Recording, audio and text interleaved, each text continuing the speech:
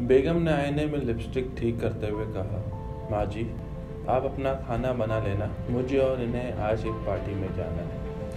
बूढ़ी माँ ने कहा, बेटी, मुझे गैस वाला चूल्हा जलाने नहीं आता। तब बेटे ने कहा, माँ, पास वाले दरबार में आज लंगर है, तुम वहाँ चली जाओ ना। खाना बनाने की कोई नौबत ही नहीं आएगी। माँ चुपचाप अपनी चप्पल पहनकर दरबार की तरफ़ हो चली। ये सारा वाक्य इनका दस साल बेटा सुन रहा था। रास्ते में इसने अपने पापा से कहा, पापा, मैं जब बहुत बड़ा आदमी बन जाऊँगा ना, तब मैं भी अपना घर किसी दरबार के पास ही बनाऊँगा। माँ ने इसकी वजह पूछी, क्यों बेटा? तो इस बच्चे ने जो जवाब दिया इसे सुनकर इसके माँ बाप का सर शर्म से नीचे झुक गया।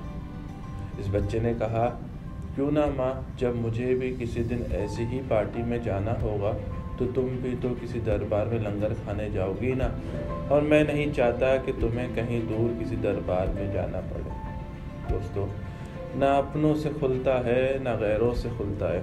ना अपनों से खुलता है, ना गैरों से खुलता है, ये जन्नत का दरवाज़ा माँ के पैरों से खुलता है। अपनी माँ का बहुत बहुत बहुत ख्याल शुक्रिया